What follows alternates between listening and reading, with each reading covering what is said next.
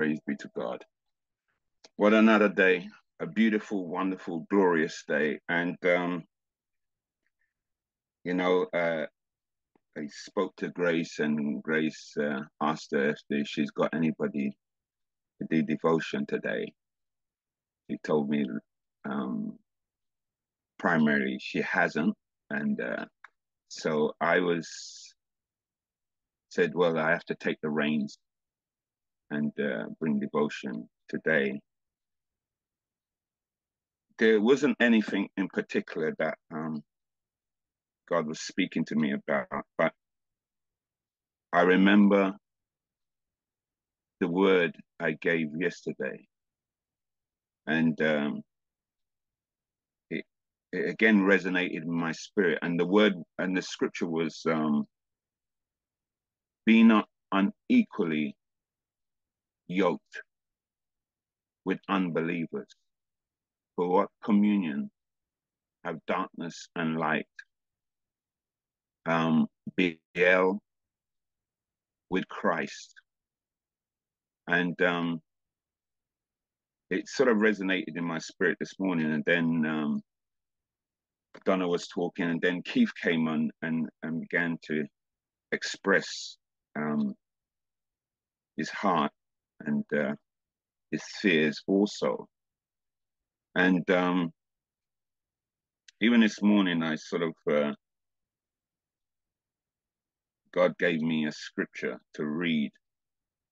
And, uh, you know, we, let us, let me say this I'm coming up to, it's going to be the 40th anniversary of our wedding. Grace and I, and uh, we're looking to celebrate it with our family on the platform, as well as our um, immediate family. And uh, it's it's in August.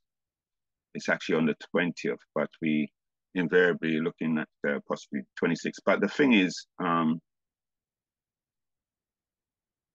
the one thing I've realized is that 40 years goes by very, very quickly. and uh, even as I'm looking at myself, I'm thinking, now I've got a grey beard. I didn't realize I had a grey beard until about, uh, gosh, until about three months ago. Uh, well, actually, it was during lockdown, actually. Um, but because uh, I've never shaved before, I've never grown it before, grown a beard before. But the thing is, is that it's not so much the beard, but it's the over the years, you gain so much wisdom and through experience in terms of relationships and uh, experience through listening to other people or observing other people's lives and experience through exercising the word of God. And I really thought, felt this morning that I, I really wanted to speak about uh, relationships. And I don't know where it will go, where it will lead because I haven't studied it. I haven't done anything. But one of the one of the um, scriptures that comes home to me is um, Proverbs 13, verse 12. And um, Proverbs 13, verse 12 says, um, Hope deferred makes the heart sick, and uh, you might say, what does that mean? Um, hope deferred. When you're when you're believing for something, when you have your when you make your plans and you say by, for instance, if you say by a certain certain date, I want to be, I want to get this, I want to achieve that, I want to be, I want to um, gain or qualify in this area. And it's not a matter of you, you can't set yourself goals, but one of the things I realize in my own life and is that I have to constantly hear what God is saying. And so even when society screams at me and says, you should be doing that, you should be doing this, you sh- you should have gained this by your age. You should have accomplished this by your age. you know what? One thing I realize is that we're all unique in God. And no two people have have been set this exactly the same course in life. It's more important to have that intimacy with God and to know that, you know what? God, I'm hearing you. I'm hearing you. And be obedient to do what God instructs you to do. That way, you don't get anxious. You you don't become anxious. You don't become fretful because you you have placed that in the Father's hand. And the Word of God says, "Be anxious for nothing, but in supplication with prayer, with thanksgiving, let's make your requests be known unto God." And the God of peace, the God of peace, will keep your hearts and mind. In other words, it keep you sober. And um, I realize that there's decisions that we will make in life, and there's experiences that we'll have. And these experiences are outside of hearing God. It's outside of what God has ordained for our lives. These experiences are based on our carnal nature, our flesh, what we desire, that I, me, and myself. I want to get something out of this. I want this for myself. And uh, hope deferred, hope deferred. In other words, you're hoping for something, but it's it doesn't manifest. It's deferred. And when it's deferred, when it doesn't come in your time scale, according to the way you want it, under your conditions, you can, there's a level of frustration you can get into. You can get into an emotional turmoil. You can get into distress because you start looking at factors. You start comparing. You start looking at, oh, I'm this age. I've got this ability. I've got this inability. I've got, I've got, and hope deferred. When it's deferred, when it doesn't manifest, you get sick in your spirit. You get sick in your soul. You get troubled. You get agitated. And there's a sense of yearning for this thing to happen. And um, I've learned through experience that I'm not saying that I don't have a vision. I do have a vision. I do have a vision, but I don't know the path. I don't know my exact path towards what God has called me to. And so what I do, I on a daily basis, I trust God.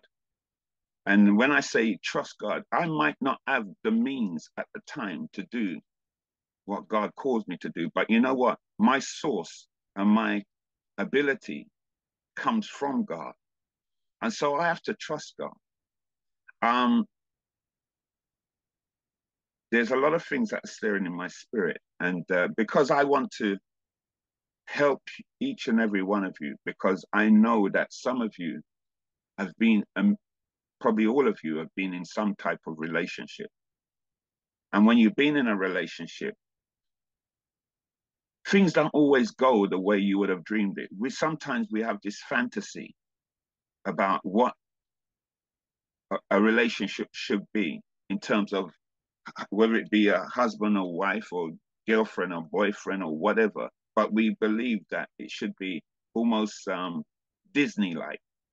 In other words, it should be all bliss and joy. I mean, you know, there's always a story with a Disney film, but the thing is, it it always seemingly turns out well in the end. But the reality is that if you trust God, trust the Lord with all your heart, and lean not unto your own understanding, but in all your ways, in all your ways, not some of your ways, because sometimes we don't want to hear what God has to say because we're we're we're we're consumed and we're acting our own personal desires. And so we will step out of the boundaries of the, the boundaries of God's word to accomplish certain things.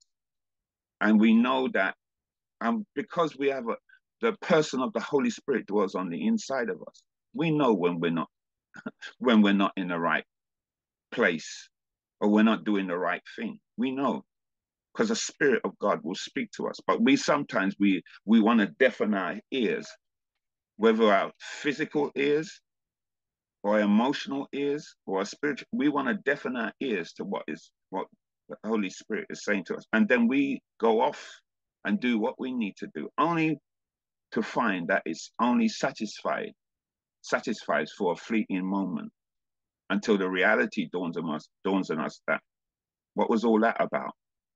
Why did I allow myself to be led astray by my emotions or my own desires?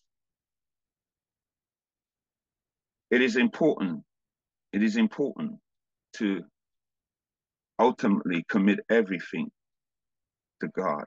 And I say that because I'm not perfect in any means, but experience tells me that the grass always looks greener on the other side. and it's not as green as you think it is. when you get there, you, you find out that it's asphalt uh, or it's uh, fake grass. It's, in other words, it's not as real as, as, as you imagine. And sometimes it, I mean, someone said to me the other day, um, you know, it's because the fake grass or artificial grass always has the appearance of being um, forever green. And I'm thinking, what is the virtues of having fake grass over um, natural grass? And obviously, with fake grass, you don't have to lawn mow it. You don't have to mow the grass, so to speak. And it's it's almost like you don't have to invest a lot of time into keeping it. But the reality is this: the person said something to me. He said, um, "You know what? I don't. I prefer natural grass because fake grass it has the appearance of a little effort to maintain it. But the reality is that after a certain time, that grass can smell and get a bit and, and quote unquote um, get a bit funky. And I thought to myself, oh, and I began to imagine the smell and uh, who would be using it and such forth, who would be using utilizing that fake grass. And I thought to myself, maybe I don't want to take um, go for the fake grass because you know what? it has a time when its use and its true value wears out. And so it becomes smelly after a while. And what you you delve yourself into things that you think may bring you um it, it's a short circuit to fulfillment. And then what it does, it brings you heartache and distress after a period of time. It's something you might admit might recognize, but you deny and say, you know what, I'm I'm willing to bear the pains of committing myself in this area for the sake of just fulfilling certain desires or hopes or dreams that I have. Hope deferred makes the heart sick. And um, so many of us, we have as I said, we have goals and ambitions, personal goals. But is it what the Lord has assigned for you? Is it what God has appointed for your life? We have to examine ourselves and trust God. Really, really trust God. And I don't know what it is. Um, I, as before I came on, I just, I, I turned to a specific scripture. And, uh, you know, sometimes when you go through life and even when you've made wrong decisions, people have a way of reminding you. In other words, some people like to kick you when you're down and they like to expose your weaknesses or your fallibilities or whatever you call it they like to do that. The enemy likes to, let me just say the enemy, because the enemy will use people, and oftentimes he will use the people that are the closest to you to do that. People that you would have put your a certain amount of trust and confidence in. It's important to know that don't lean on the arms of flesh, but lean on the everlasting arms of God He never disappoints. He never fails you. And um, I really just, uh, if I'm going to speak today, I may just as well speak as a father because I've been through a lot. We have been, Grace and I have been through a lot. But you know what?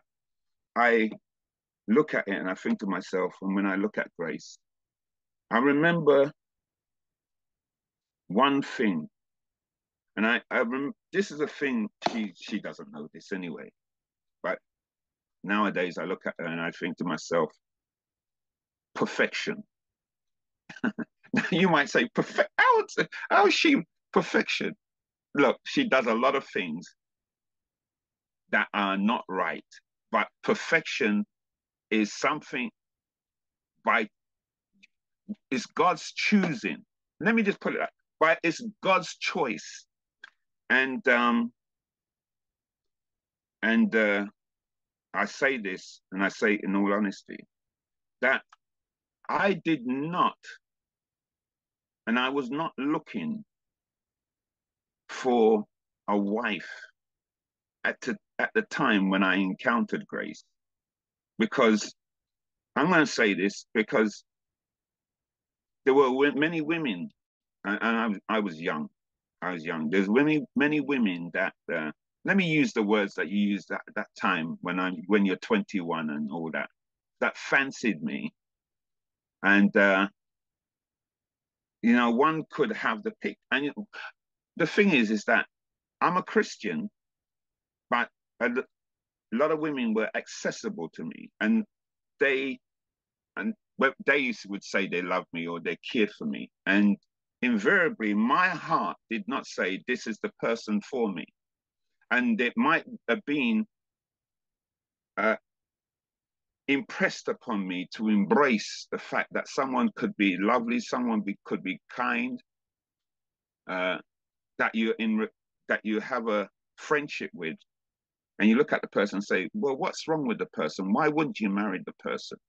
And you'll find that the first thing that would happen, the first encounter that would not suit you in your relationship, you'll find like, oh, that's the seal. That's what tells me that I'm not, I can't get married to this person.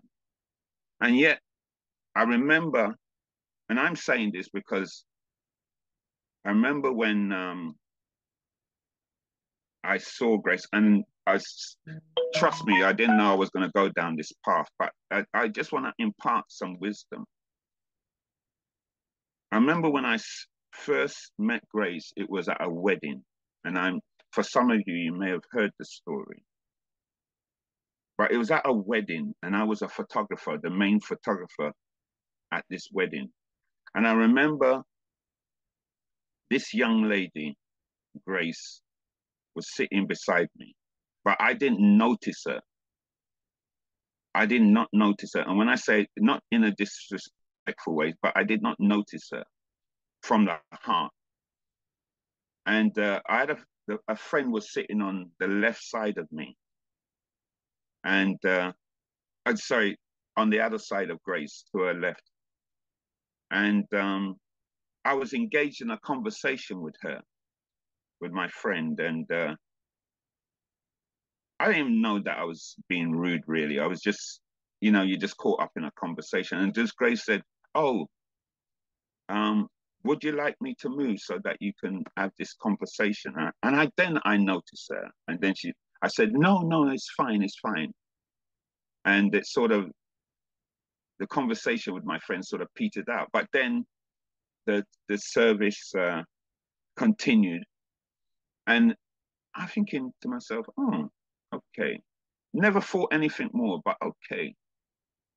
Then we was called to the vestry, so to speak, and uh, as a main photographer, you're taking the photographs, and this was the signing of the register. And the vestry was so small that uh, there was about 10 bridesmaids or, or and uh, um, ushers, or what, what you call them and um, it was tight in there. And Grace was standing beside my friend, and it's very hard to get an angle to take everybody. So I was just focusing on my friend. I said, let me just take a photograph of you.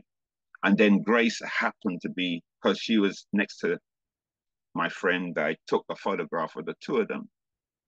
I thought, hmm, interesting. Interesting. And um, when I took, obviously, I took photographs of the bride and groom. I couldn't shirk my responsibility the reasons why I was there, main reasons, and the bridal party. And then it, that aspect finished, and uh, they were the two were now married, and then we was out into the open. And uh, now, when was open, out into open, I continued to take photographs at random. But again, my friend was there and Grace was beside her. And I thought, okay, let me just take a photograph of my friend. And then as I looked through the lens, Grace was there. I thought, oh, hmm. took a quick photograph. And then I sort of zoomed in on her. And then I noticed her. I noticed her. I noticed her beauty. I noticed it's almost like I could picture a heart, a soul. And I said, This is a beautiful person. And I thought, no, let me take a picture of a singly, like a single snap. And I zoomed in and I and it registered, something registered in me. But I did obviously I just saw this person for the first time on this occasion. And I just remember I remember um it was now the reception. We were at the reception, and uh, I was sitting there, and the reception was going on, and uh, there was a moment. There was a moment when I. It was an open vision. It's a day vision. I, it was a day vision. God brought it to me. It was a day vision. And this day vision, I saw grace. But I saw myself laying beside her, and it was not in a, it was nothing that had any sexual uh, orientation to it, but I saw myself laying beside her, and I saw myself gazing at her and uh, gazing at her and just admiring her beauty. I thought to myself, what is this? It was it was a it was an open vision. It was a day vision. And uh, nothing there's nothing sexual about it but it it was so real. And then um you know when you try to shake yourself and you're thinking so i don't know i said to myself i don't know what this is because i'm not thinking about marriage i'm not thinking about a relationship i'm not thinking about anything.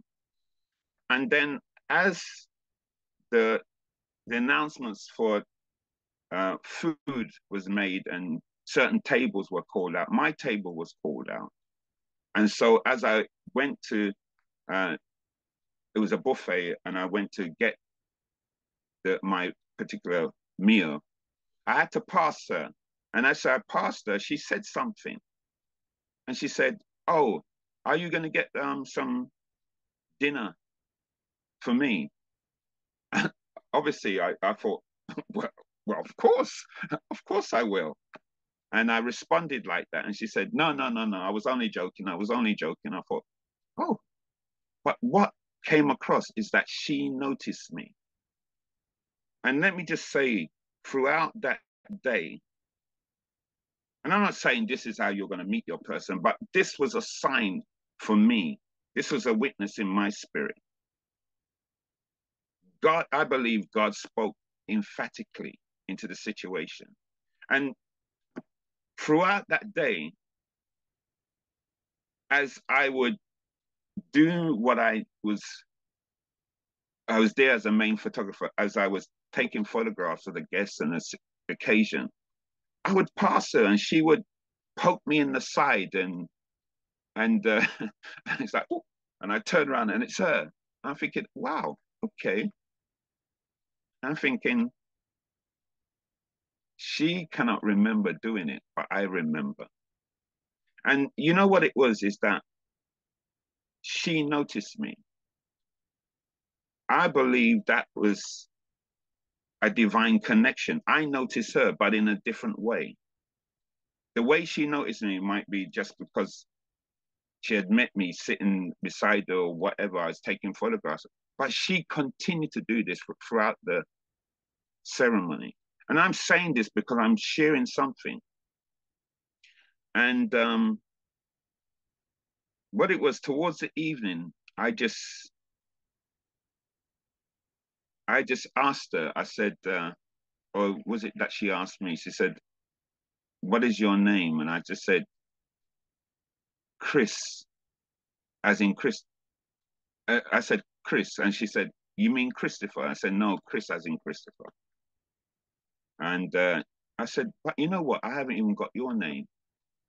And she said, "Oh, my name's Grace." I said, "In fact, I've I've got all these beautiful photographs, and uh, I don't know where to send them to." And she said, and so I said, uh, "Where is it you live?" And she said, "Luton." Now, for me, I'd never heard of Luton. Luton could have been a hundred miles in Scotland. It, the, the the name Luton didn't mean it. I said, God, where is that? She said, Oh, um, don't worry, it's out of London, but don't worry about it. I work in London. I said, Oh, okay. But she said, I said, Oh, can I have your contact number and such forth so that when it's ready, I can send you the photographs. Now, what I'm saying is this I've been doing photography for a long time, but something inside of me compelled me to turn that processing, the processing of those photographs around in about 48 hours. it's the quickest I've ever turned around a, a, a, a um, processing of photographs. And I remember ringing her. And um, when I rang her, she said, Oh, who is this? I must have rang. This is a Saturday. I rang her on a Monday. She said, Oh, oh, who is this? I said, Oh, it's um Chris, um, the photographer. I said, Oh. And I told her that I had the photographs ready. And she said, Oh, that's quick. And so for me, there was this desire to meet her as quickly as possible. And I remember I I said to her, Oh, shall I deliver them to you personally, um, Luton? Or sh she said, No, I live in, I, I work in Farringdon. And uh, she said, I can meet you after work.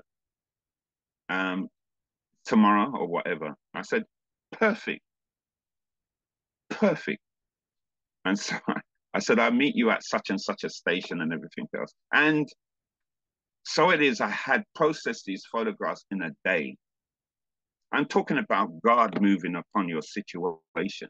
And I'm sharing something here because things don't always go how you perceive them to go. But you know what? When God puts somebody together, you know that it is God.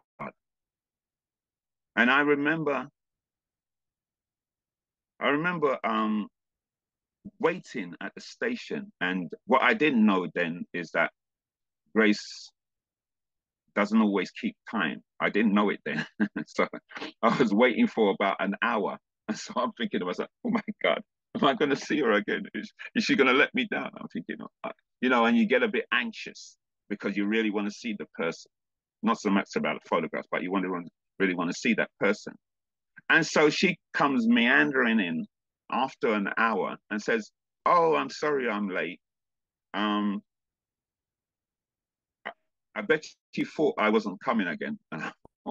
no, no, no, no. I, knew you was coming, but I knew there was anxiety, anxiety on the inside of me. But the reality is this: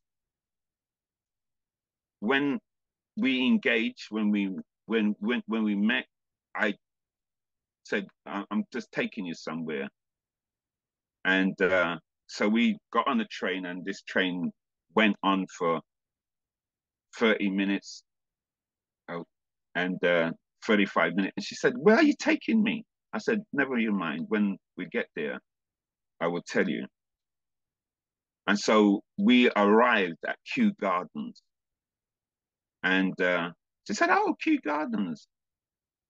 I've never been there before. Now, I wasn't interested in the flowers. I was interested in the flower, Grace. And so I remember we, I was speaking to her, and uh, and I'm saying this, and God will give you a sign. And for me, he gave me a sign. And uh, the sign was this, is that I began to speak to her in a way that as though I knew her. I'd known her for years. And but I what God God anointed me on that day to speak prophetically. And uh, so I spoke prophetically and I said, Oh, you're like this, you're like that, you do this. And she says, How do you know that? I said, I don't know. I just know. And I was speaking to her and I started to expound the rhetoric, so to speak, and said, Oh, you're the person for me. Um, you're my, you're you're my wife, and uh, you, obviously that must have come across as a shocker because suddenly a second time she's meeting me. But you know what? When God speaks to you, you can say certain things and you say in the confidence of the Lord speaking through you. And I spoke to her. And um, let me cut a long story short. What happened is that um, we went to a restaurant and uh, I ordered the food and the food came, sat before her and uh, I had my plate of food, and I tell you the truth, and this is the truth, it's the, it's the first time in 40 years, and I've been 40 years with her, married to her now, that she didn't eat her food. Grace loves food. She didn't eat. I said, why aren't you eating? she said, I don't feel like eating. and uh, she never told me why at the time, but I realized why. Because I had spoken so many things into her life concerning her. So she's thinking, and then I'm talking, she's not saying, no way, no how, you know, I'm not marrying you. I don't even know you. She's not saying that. She's just listening. But I'd spoken and she lost that appetite for the food. And uh, I left, we left there and um, we, we continued to keep in contact and such forth. And you know what? As I said, I spoke prophetically and said, I'm going to marry you. We're going to be as one husband and wife. And you know what? I never, uh, I never, um, what's the word? Um, proposed to her or anything like that. You know what? We just, from that moment, we just planned the wedding. And uh, it was just seamless. We planned the wedding and uh, in a year, within a year, we were married. And, uh, you know, that wedding to this day, which probably underpins who we are as a couple. We're, we're very much alike. We're very creative. And that, that wedding was uh, talk of the town. It was the wedding of the year in Christian circles. It was a wedding of the year. And it was uh, featured in a magazine and everything else. We did things that people never did at that time. It was um, silver service. We had a band. We had all the best singers. All the um, we God enabled us to do that. We had the best singers. We had uh, a lot of ministers that are pastors and bishops today. They were at that wedding, and people gave their services free. We had a beautiful day, and uh, it was just one of those weddings, and uh, we couldn't have planned it any better. And uh, you know what happened is that you can get in a situation where these things happen, and, you almost live in you're you're in a bubble because you're thinking this is like fairy tale. The reality is is that you you go for an experience like that, and then we went on the honeymoon and everything else. We went to think Jamaica and um, Miami, um, America, and uh, and then the reality of this, you're with somebody that's new, and you right really don't know everything about them, and so there was a lot of interaction and friction even on the honeymoon, and you think, oh, this is not what I signed up for, and she would have said the same, but the reality is this: whom God puts together, let no man put asunder. And when God is in the midst of it, where Jesus Christ is part of that threefold cord that should never be broken, you know that you know that you know that you're with this person for life. And uh, 40 years on, you think to yourself, where did the 40 years go? I can't. We've lived, we lived an exciting life. And it's not a life based on in comparison with other people. It's just a life based on God's call under both of us. We've done, we share the same heartbeat. We share the same mind. We share, the, we have similar giftings. We complement one another in so many different ways. And um, you know what it is, is that you go through times when, for me, you I may forget what God did. And you do things within a relationship and you think to yourself, I shouldn't have done that. And you regret doing those things. And you and you um have to go back and then God reminds me that this is your life partner. Has there ever been a time when I ever thought of divorce or anything like that? No, not personal, on a, on a personal level. In other situations, in other relationships, people get divorced for a whole lot less. I'm thinking to myself, what happened to long suffering? You know, long suffering means it's a fruit of the spirit. So There's things that you have to develop. There's character that you have to develop within a relationship. And when you're going through hard times and you're pressed on every side financially, emotionally, you have to trust God and you have to know who you're called to serve. And one of the things that we have done as a couple, we've always put God first. If it was a matter of putting our ambitions first, we, I suppose, in a in a funny way, would accomplish a lot, a lot more on a material and a financial level because we're both very gifted. And there's a lot of things I could have done if it wasn't for the gospel. And I, I but I say that with not with regret, but I, I say that because I'm pleased and I'm glad that we put God first. And Junior said something yesterday, and he touched me because he said, he said, um, there's things that Pastor Chris does or is accomplished. And it's not all about money. It's not all about material things. It's not, it's not about these things, but what it what it is, God makes provision. It's evident that God has made provision for him to do things that other people in ministry that pursue money and things, they pursue it to a fault, so to speak.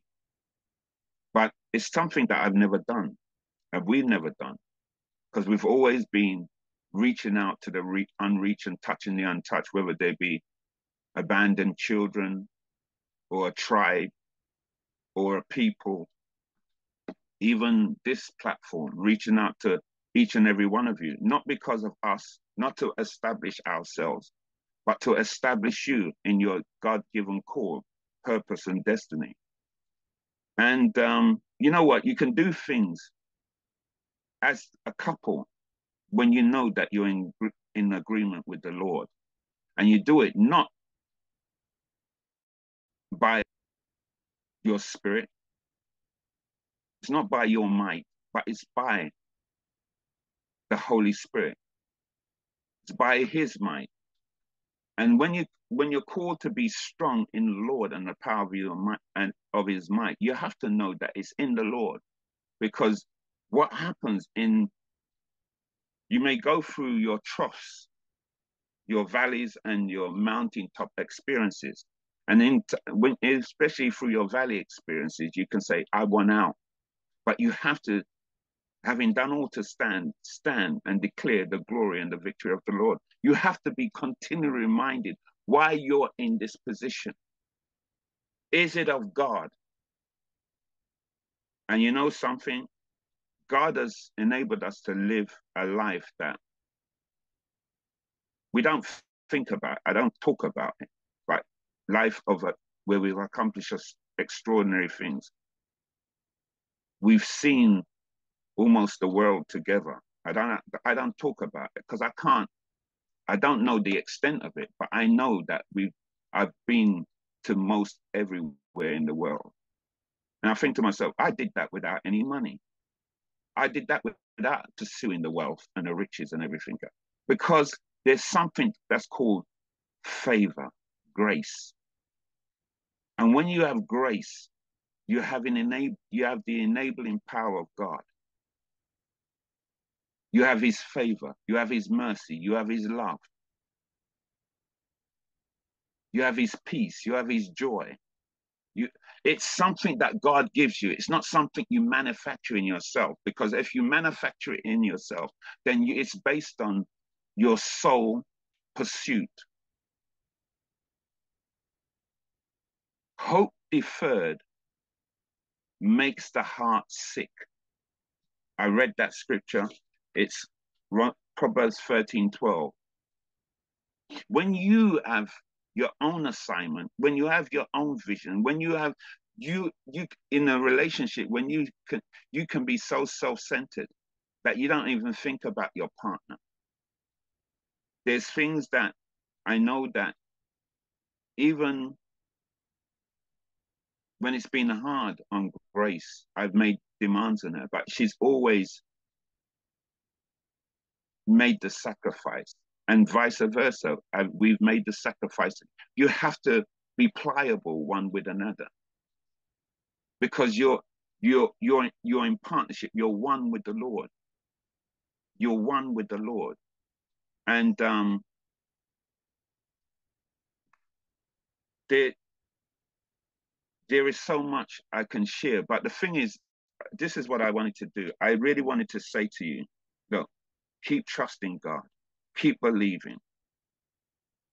There's things that will happen out of relationships, even in your own relationship, and the fruit of that relationship will be manifested. It may be a child, it may be two children, three children.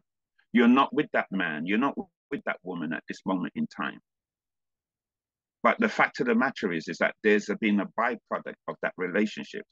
That byproduct is a blessing of God. And you might say, well, couldn't have been ordained of God because I'm not with that person anymore. But you know what? Things happen. Things happen in life, and it takes two, oftentimes, to agree. I've I've learned in my life that if two people don't agree, come together, if they're going through issues in their relationship, if they don't agree, you can't force someone to agree. And so rather than go down the route of trying to force someone, if they have a mindset, they just have a mindset, they're not going to change. There's nothing, it's only God that can change them. Yes, you pray into the situation. You you you want the best for the both of them and you instruct them and you counsel them in the ways of the Lord. And you you say, you can say to them, exercise the fruit of the spirit. But them exercising the fruit, because fruit is something that you have to do. You have to develop that. It's not a gift from God, it's you have to develop gifts of the Spirit, of things that God gives us because He loves us. And so a person can manifest gifts and it can be gifted and anointed in certain areas, but it doesn't mean that in their life they conduct themselves in the right way and in the right spirit. And so you can see someone that appears anointed on the on one side, and behind the scenes, they're they're um, abusing their partner, mentally, emotionally, physically, and they're destroying the person. But yet they're they're gifted, they're anointed. We have to be wise, and there's something that we need to look at. It takes two to make a true relationship with God. It takes two I said true, divine relationship with God. It takes two. And I'm saying that you have, you might have different personalities. Personalities are things that are personal to each one of you that makes you you. It's personal. But you adapt the character of God. And it's a character, the thing that's in your spirit the character of God, God's love in you that enables you to grow together as one. And so that's the chord, the common denominator in any relation is a Christ in both of you that is the hope of glory. And that if you can find that middle ground in Christ, you can go through any situation that is demanding. why I gone down this route because I really want to, and I, I, I don't know if God is really impressing upon me at this moment to talk about relationships on a broader level. But there's a lot that we've learned in 40 years of marriage. There are, let me say something. I'm not moved by outward shows of affection. And when I say I'm not moved by it, because I've been in Christ long enough to know that those people, you know, it's always amuses me. And it's not amusing, it disturbs me in a sense, because those people that seem to be lovely, lovely, tactile, you know, demonstrative, they're stroking one another, saying, Oh, lovely, dear, oh, wonderful, my, my, the apple of my eye, the, and all these lovely dovey things. And they're doing all these shows of affection. You turn around, you two shoots you here. They're separated, they're divorced. I'm thinking, what? Can't be. How? because it's a show. Be true to one another and be true to God. Don't do what the world does. Do what God does through you. If there's no two marriages that are exactly alike, there's no blueprint for marriage, but you have to find your place in that relationship and know that it's two personalities coming together. And it's got to be identified through the character and through the love of God. It's the love of God that keeps, true love of God that keeps two people together. And the Holy Spirit that is able to change people. You can't change your partner. I can't, I couldn't change Grace. Grace couldn't change me. But you know what? The Holy Spirit changed me. I was not always a nice person. I did not always put her first, but the one thing I knew, I loved her. But when you're when you're when you're growing, and when you're growing up as a as a young man, I got married when I was 24. Grace was married when she was 23. It's that so everybody's doing their calculations now. Oh yeah, yeah. I'm not embarrassed about my age. But the thing is, is this: you realize that you will have differences and uh, things will not always be ideal in your relationship. You, we would all like to emerge together in ministry, husband and wife, and you're doing ministry together. It doesn't always work out like that. And sometimes you have to balance or look at the roles that are God ordained for your partner. It's not always that you're if you're a pastor, that your your wife is naturally going to be a pastor or a quote unquote be pastor's material. There might be just home tenders, and when I say home, they they they're looking after the children and such. They're they're the mothers of the home. They're the matriarchs of the family. So they're not might not always be called, but you have a ministry together, and you're there to supplement one another. And um, it's important to say so some people may invariably look at relationships and say, well, there must be something wrong with the wife why the wife is not there standing beside her husband all the time in, in ministry. But you have to understand every person as a unique core, every marriage as a unique core. And you have to understand. You, you, I think about Mary and Joseph Mary was there to um, give birth to the greatest man that ever lived. Her purpose was to nurture that child to an age where he was going to be released into ministry at 30 years old. I don't know how long she nurtured him for, but the fact of the matter, Jesus was, there's, by implication, Jesus was with Mary and Joseph for 30 years. That was their assignment.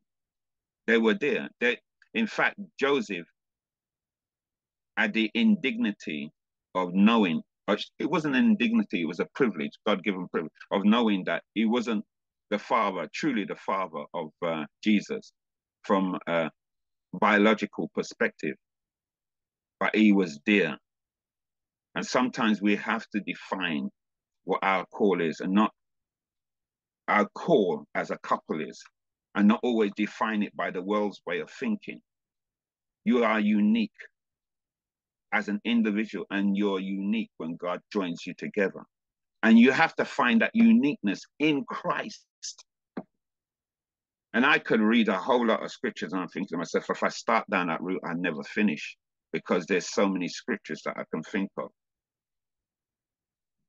But I just want to encourage you. I want to encourage you um, that keep on keeping on. Be a servant to the Lord first. You know, there's there's things that I will say to you. I say, look, whatever God gives you, whoever God gives you, appreciate them. Appreciate them. Because when God gives you something, somebody, he gives you the best. And it doesn't matter because it's an institution of God and God loves you. And if you truly love God, God will give you the best. He will not give you something that is a, a counterfeit. He will not give you somebody that is going to lead you astray, that was going to take you out of your relationship with Him, the Father. He's not going to give you somebody like that. If if it is that you fight, and that's why that word keeps coming to me, be not unequally yoked with unbelievers. For what communion of darkness and light and Belial with Christ? Unequally yoked means that someone can have an influence, even your partner, someone that you think, I love this, but why do you love the person?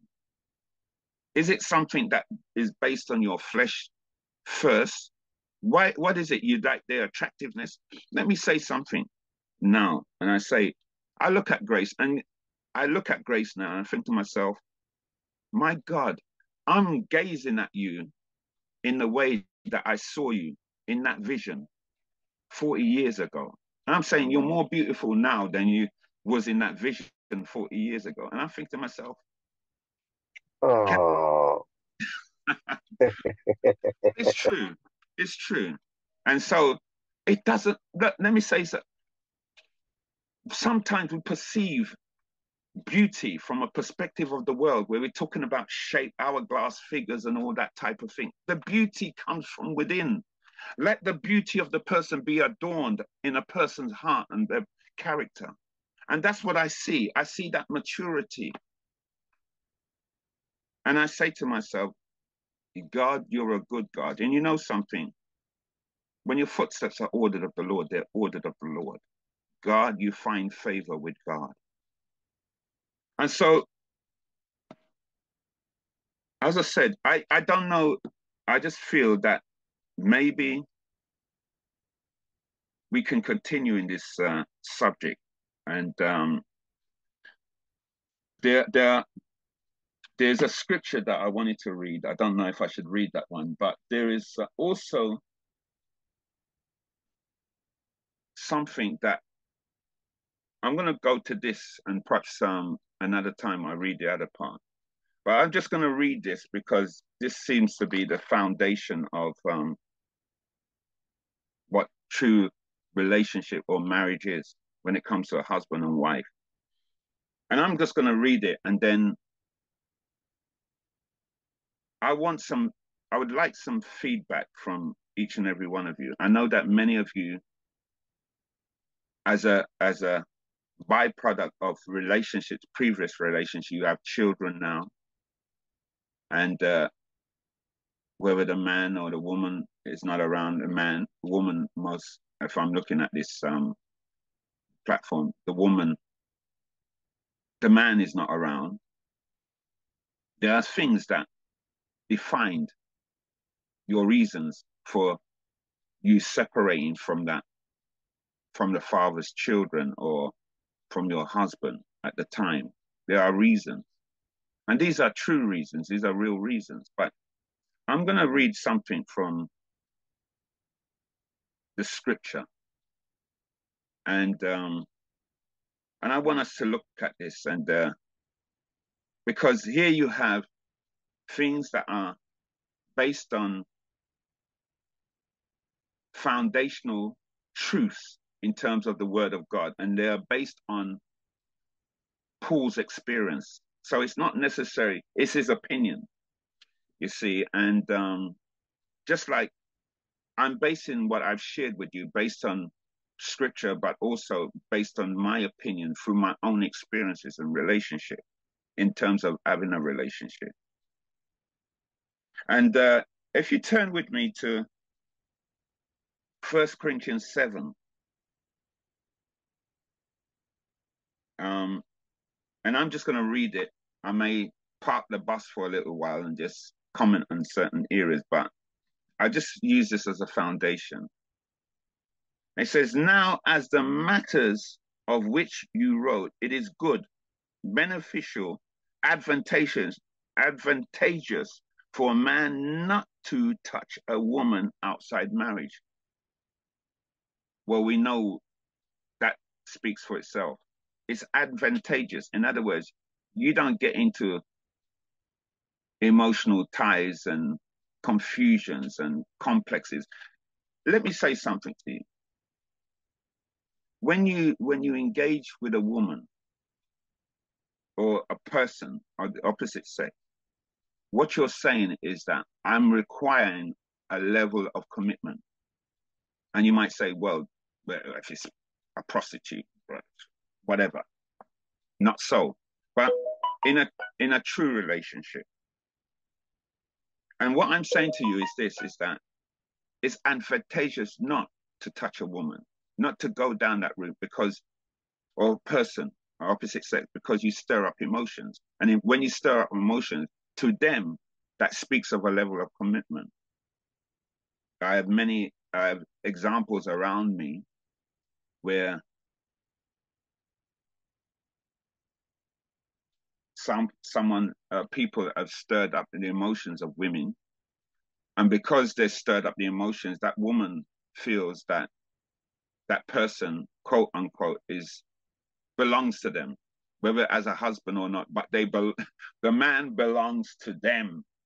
That that's my man, you see, because you stirred up emotions, and uh, women are emotional people. They if you showed them, and the devil is a liar because having sex doesn't mean that you love the person, but in a confused state, your flesh will register this as, oh, you care for me and you love me.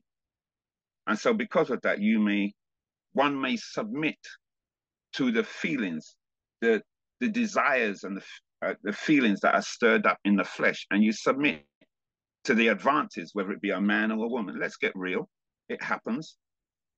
And uh, as it continues to happen, you think to yourself, well, that's my man. And so if there's another woman that comes onto the scene, no, that's my man because he's with me because, you know, and you may have all the credentials and they say, well, no, he's with me because, and if it boils down to it that you're battling with somebody and you all have uh, children that can identify, he's been with me, then it brings confusion. And so sometimes it's best to just leave it alone until the appointed. Marriage is honorable and the bed is undefiled. That's what the word of God says.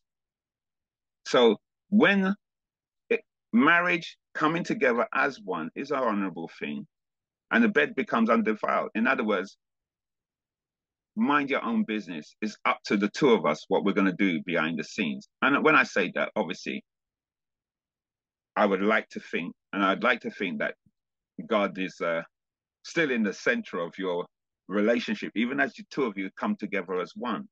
But the reality is this it says, Now, as to the matters of which you wrote, it is good, beneficial, advantageous for a man not to touch a woman outside a woman, outside of a man. And touch doesn't mean just to touch, it means to go far deeper than that. Stir up the emotions. Promise them things that you're not going to deliver. Yes, I'm going to marry you. See, that's an emotional abuse. I'm, but you have no intention of doing it. And so you get the person in a turmoil. But because of the temptation to participate in sexual immorality, let each man have his own wife and let each woman have her own husband. So you, you, can't say to yourself, all right, look, I'm a child of God. I love my God. I love Jesus. And say, look, I'm going to be friendly with somebody because you might have a perspective on your relationship, but they have a different perspective on it.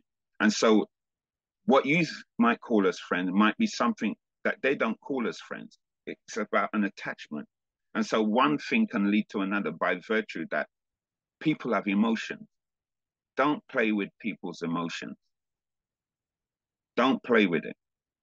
It's not a good thing. You mess people up be true in your relationship. Say, say, this is off limits. This is not for me. I ha- already have a partner, or I have my wife, or my fiance, or whatever. Do the right thing. Because you know what? The devil, the thief comes not but to kill, to steal, and to destroy. And there's many a person, whether it be husband or wife, oh, sorry, whether it be man or woman, that has been at the end of such a relationship that becomes suicidal. They mess up mentally and emotionally, even spiritually. They they shipwreck their faith. Their faith in God has been shipwrecked. Don't do it. And he says, um, the husband must fulfill his marital marital duty to his wife with goodwill and kindness, and likewise the wife to her husband. And uh, you know what that is. Fulfill the co conjugal rights of uh, husband and wife. In other words, there are desire. As I said, we are we are fleshly by nature.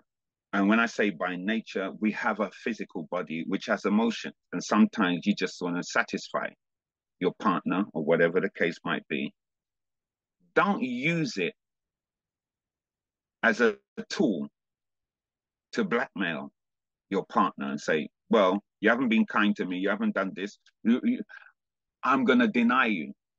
Because oftentimes that is something that will drive a person away from you emotionally to look somewhere else. So it's saying within the constitution of marriage, which is honorable to God, if two of you are in agreement, let, just do it. Even if you, and you might say, well, what if I don't? Why am I talking like that? What if I don't feel like that? but you say, you know what? Because you love the person, you will give in.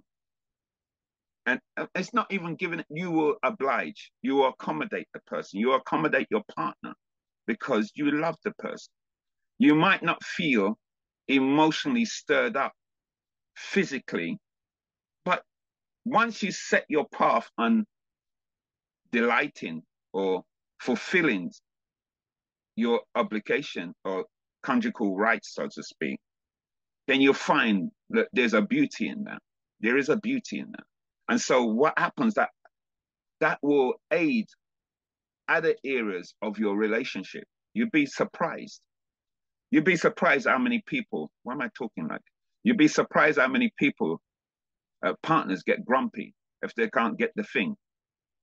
Because it's, are we below, um, yeah, because if they can't get it, they get grumpy, they get miserable. And that's where the devil will come in and say, God, forget it. Forget him. Forget that one. forget that one. And you, and mo- moment you get to that point, you leave yourself vulnerable as an individual to temptation. And what it is, is that your temptation may even lead you to the point of saying, you know what, let me just substitute this and let me just, uh, no, I'm not going to cheat on my partner. But what I'm going to do, I'm going to take the safe option. So I'm going to go to the internet in the confines of my own space and I'm going to look at a few ladies online. And you go through all these, your imagination is just gone off a tangent, a tangent, and you start looking at these things online. They call it pornography. Let me just cut to the chase. Things that seem fantastic in terms of relationship, but they're not of God. It's not real. These are simulated relationships born, born out of carnality, fleshly desire. And you take that and you think, yeah, that will satisfy me. But it corrupts the soul. It, and it can corrupt and bankrupt your re true relationship with your wife. Don't do that. No, they didn't have internet in Paul's days. So there was no internet. So uh, I'm just interjecting that because it's a reality. The wife does not that, and it says here, the wife does not have exclusive authority over his own body, but the husband shares with her, and likewise the husband does not have exclusive authority over his body, but the wife shares with him. So, hallelujah. So, you mean to say, my wife can't say to me, This is my body, you can't have me. Well, I'm just saying by mutual consent, I'm saying by mutual consent, you say, we are one. And let's do the right thing. And you have a way of an approach. Every man has a way and approach of uh, um, doting or uh, pursuing your partner. You, whether it be a husband or wife, but you have you have your own approach. And so I'm not here to tell you how to do it. I'm just here to say, just do it according to the word of God you see. And he says, um, do not deprive each other of maritable rights, except perhaps by mutual consent for a time, so that you may devote yourself unhindered to prayer, but come together again so that Satan, you see, Satan, Satan will not tempt you to sin because of your lack of self control. And that's the truth. That's look, you, you, I don't care who you are. You might say, wow, I've got control over my flesh and I'll mortify my members which are upon the earth. I'm telling you, there are things that can scream at your flesh because the devil knows your weakness. He can scream at you and you think, Lord have mercy. And in a momentary lapse, you can succumb to the devil's will. And so it's important to distance yourself distance yourself from that, finding yourself in an uncompromising position or an uncompromising environment. But verse 6 it says, But I am saying this as a concession, not as a command, as a concession. In other words, he's expressing his wisdom and his counsel here because he doesn't want to become legalistic. But there is wisdom in abiding and following the word of God. I wish that all people were as I am, but each person has his own gift from God, one of a kind and one of that. And one of that. But I say to the unmarried and to the widows that as a practice matter, it is good if they remain single and entirely devoted to the Lord, as I am. Now, Paul is saying that he's entirely devoted to the Lord, and sometimes you can get to that point. It's not it's not compulsory that everybody's going to get married. It's not compulsory. It might have been um, the purpose of God for man and woman to come together as one, so that they would populate the earth first and foremost, so that God's kingdom would grow first and foremost. But it's not for everybody. It's like saying this particular office is for everybody. Not everybody's called to the same office, and you're not called to the same constitution or institution of marriage. You're not. Some people, I know people, um, Uh, especially the women, they say, you know what, I'm happy being single. I'm fulfilled being single. I love God. And I just love the the opportunities to do what I want to do and as God calls me. I mean, and when I say I want to do, in a sense that I'm available to be used of God at any time. He instructs me. It's nice to be in that position. And Paul was in that position where he was, let's, let's put it like, he didn't have to account to a family.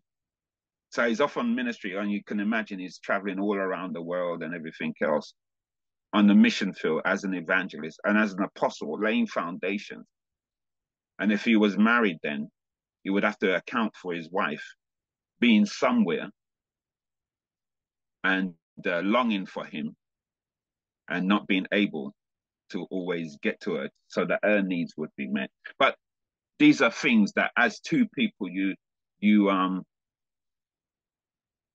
you discuss and you arrange and you, you find out what is suitable under the direction of the Holy Spirit. And as a matter of course, and uh, so it says, but I say to the unmarried and to the widows that as a practical matter, it is good if they remain single and entirely devoted to the Lord, as I am. But if they do not have sufficient self control, they should marry, for it is better to marry than to burn with passion. And so um, it's saying there, if um, for some people, it's better to marry rather than to burn. And when I say burn, you know, you you can't you, you just agitated on the inside. You just you, you understand what I'm saying. You just feel that you need somebody. And if, if you just have this overwhelming desire that overtakes you, that you just need somebody, maybe then by God's grace of God, God will allow you then. And when I say allow, we can make our own choices in life, and many of us have made our choices in life. But and uh, and then it doesn't work out. But one thing I know is that God knows the end from the beginning, and if there's a byproduct of that, that you have children and you have grandchildren, even for the purpose of the grandchildren, God knew that you would be in that position, and so God has a way because He's a loving God the very offspring that you have may be a blessing beyond your expectation. Yeah, the man is not around, the woman's not around, but you know what? My generation, they're around and they're making an impact. They're, they're reaching the unreached and touching the untouched. They, the gospel is being spread through the offspring. And so there's nothing, I don't see anything as being a mistake because ultimately God knows all things.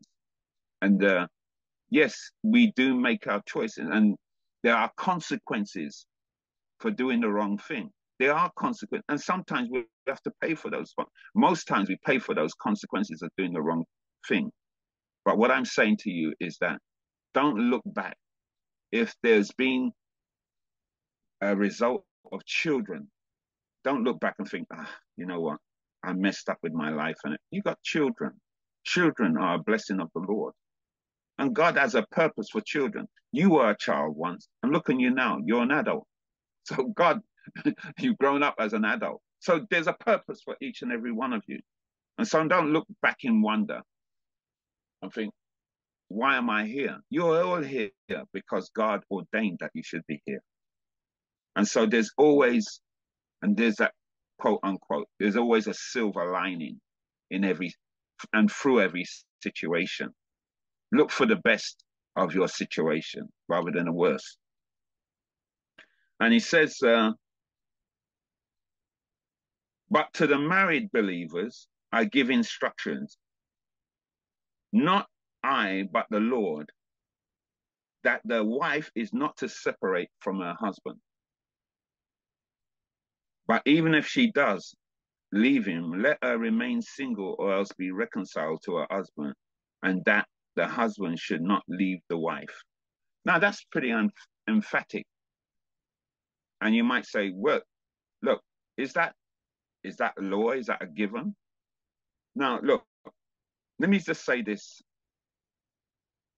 Life is about fulfilling God's ordained purpose for your life. That's what it's about. And uh, there are situations that, that you can confront you where you're in a relationship, even with your husband, even with your wife, and they're abusing you mentally, emotionally, physically. They're abusing you. In other words, they're stopping you from fulfilling your divine purpose in God. And you might say, How is that? Well, if you're mentally and emotionally messed up, some in many cases you're not at liberty to serve God the way you want to serve God.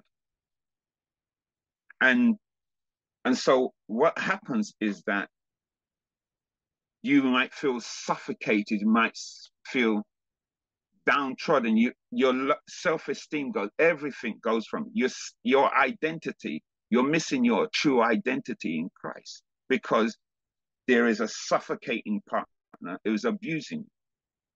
God does not call you to be beaten to a pulp, and so that you're you're full of trauma. God does not call you to that. That's the devil at work. Does not God does not call you to be continually bombarded by negative words. And, the, you know, sometimes people say sticks and stones may hurt. Sticks and stones, how's, it, that saying go? Sticks and stones. Sticks and stones may break your bones, but words will never hurt you. That's the one. That's the one. Hallelujah. Thank you, Daniel.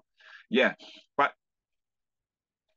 words do hurt you more so than the physical beating. And you might say, boy, I much preferred the words. No, you don't, because the words can, you can be healed of the wounds some, many times. But the words that resonate in your, your spirit, in your heart, for you can live with them for a lifetime and impacts upon your personality. I'm telling you the truth. And you think to yourself, why is that person like that? But you never reckoned about what they'd been through the emotional, the mental, the physical abuse that they didn't even know whether it, it was day or night. And they're thinking, wow, let me get God save me. There's many.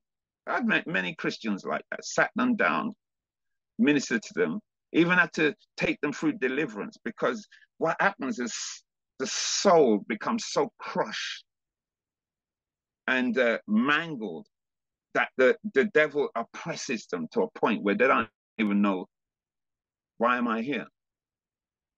And you have to deliver them. When I say that, Christ delivers them from that oppression.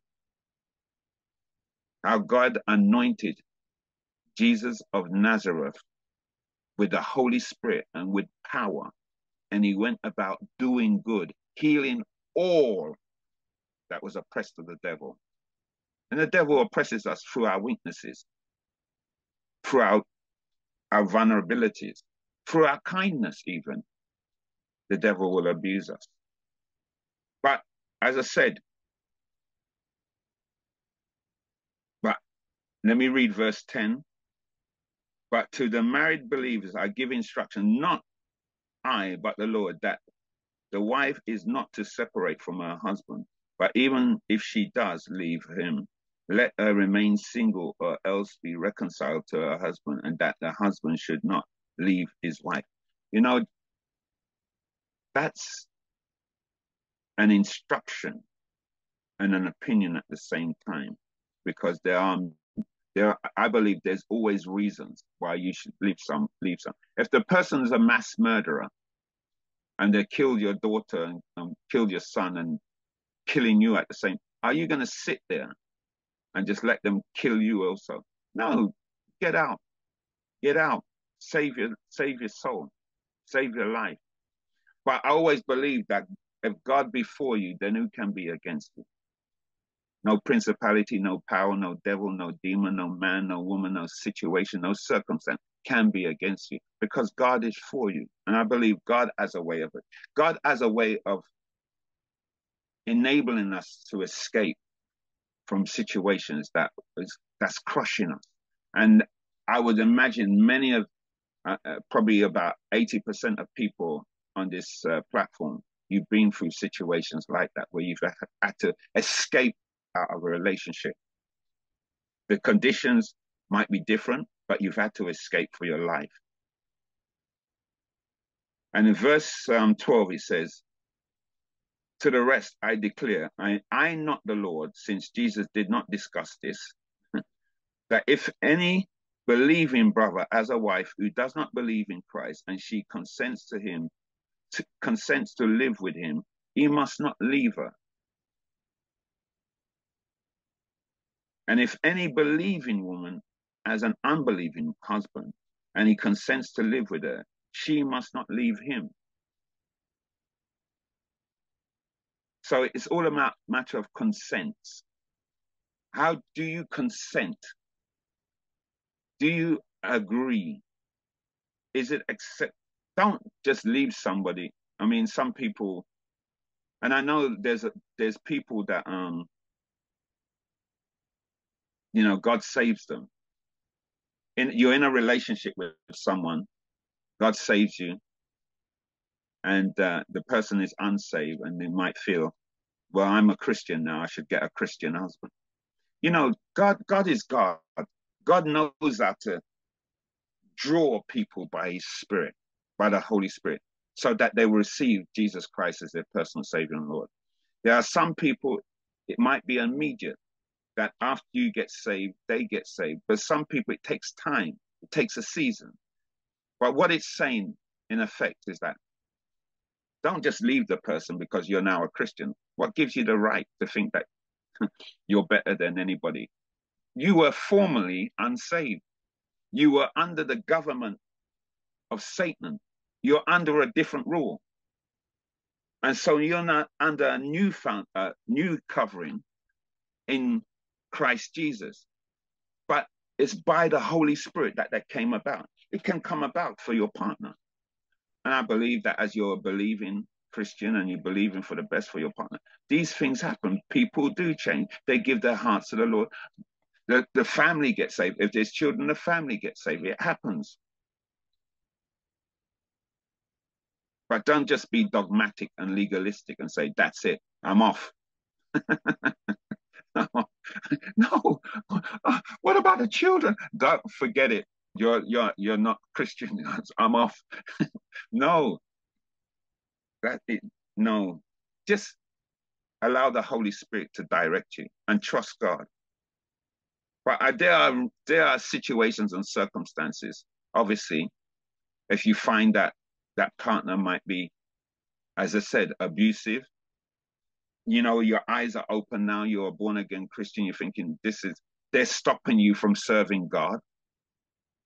In other words, they're restricting you from your natural relationship with the Father. You can't go to church. You can't do. Then you have to question. Hold on, this is the devil. In the name of Jesus, I, I rebuke, break every curse in Jesus. You got to fight against that. Are you going to risk this, the devil? Submit yourself under the mighty hand of God. Resist the devil and see that he flees from you, flees out of your relationship. You got to be militant, militant in Christ, because your home is the dwelling place your sanct- you are the dwelling place, but when you're there, you become the priest of your home. If you're saved, you become the priest. Whether you're a man or woman, you become a priest. And so you take control of your domain in the name of Jesus. Don't mean to be intimidated by the physical disposition of a person. God is able. But some cases, you have to realize that God will not allow you to stay in a position like that. Um, I'm looking at time. It says, um,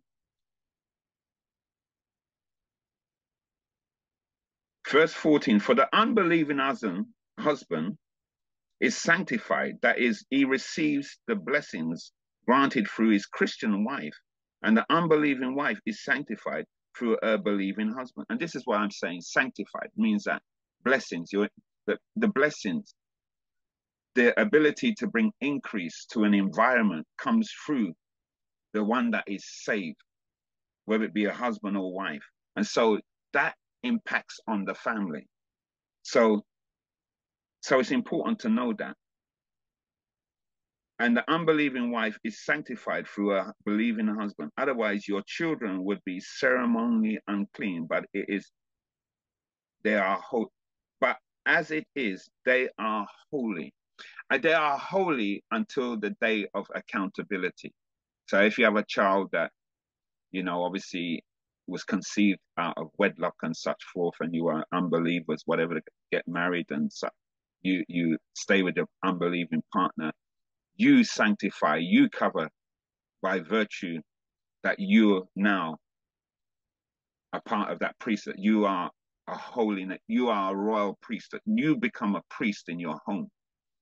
And so by virtue of that, you sanctify your children until an age of accountability that they can decide for themselves whether they serve Lord and receive the Lord as their personal savior.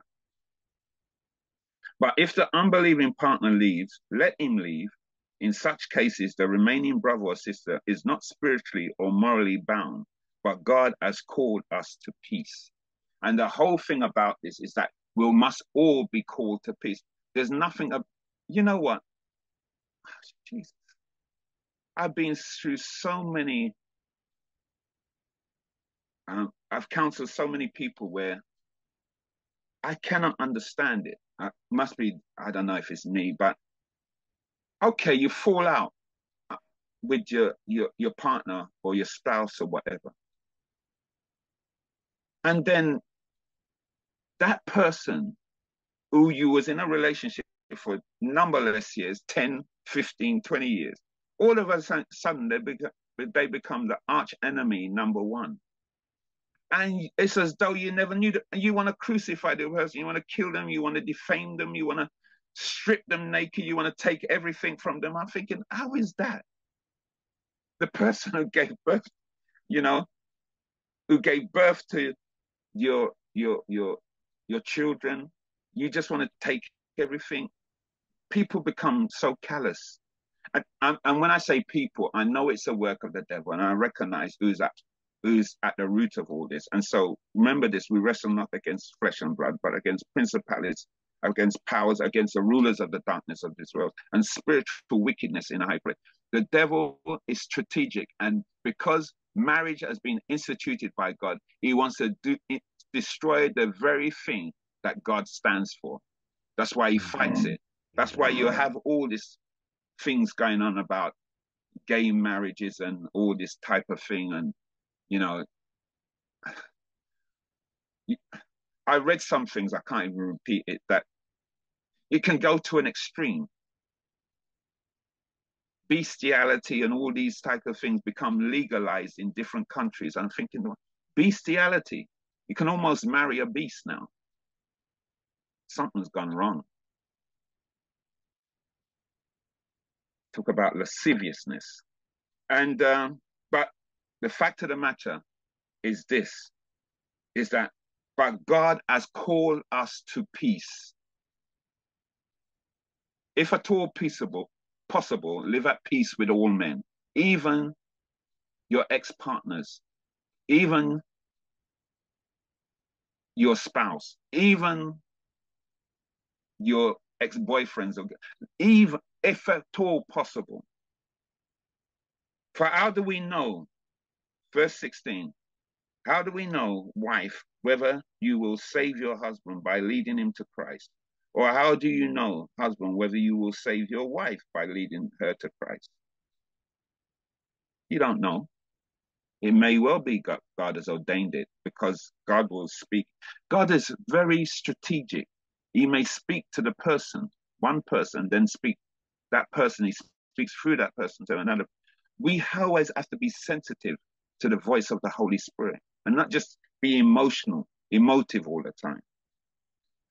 Only let each one live the life which the Lord has assigned him and to which God has called him. For each person is unique and is accountable for his choices and conduct. Let it him walk in this way. This is the rule I make in all the churches. And I'm just going to stop there. I'm going to stop there and I'm just going to say, look, we live in an age where the institution of marriage is not valued as it was before. And, uh, you know, obviously people are taking a mockery out of man and man, woman and woman. Okay.